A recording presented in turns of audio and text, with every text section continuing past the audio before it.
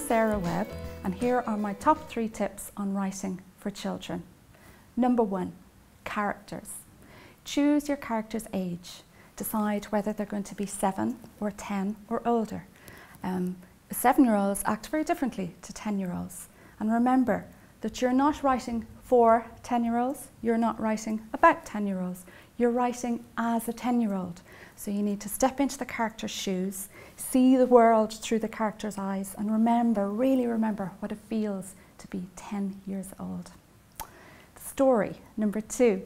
Choose to write about something that you care deeply about or that you're really interested in knowing more about, whether that be boats or bees or ballet, you decide. But you have to write with your whole heart and be really engaged with what you're writing about, and that will come across in your writing.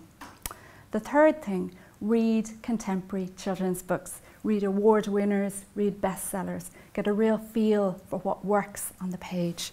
Read Wonder by R.L. Palacio. Read Holes by Louis Sachar. Two brilliant books for kind of 9, 10 plus. Read One by Irish writer Sarah Crossan, an amazing teen book.